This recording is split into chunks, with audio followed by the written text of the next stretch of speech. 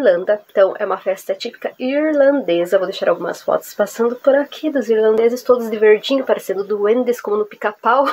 Então vamos, fale, fale! Vá pro inferno!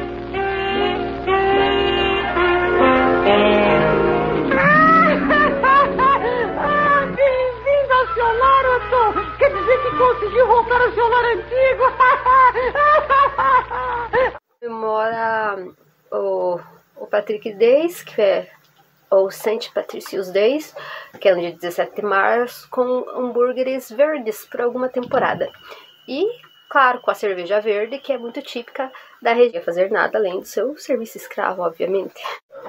Então, só para vocês entenderem, num resumo, o São Patrício, ou Saint Patrick, Patrício, isso aí, o Patrício, Patrick.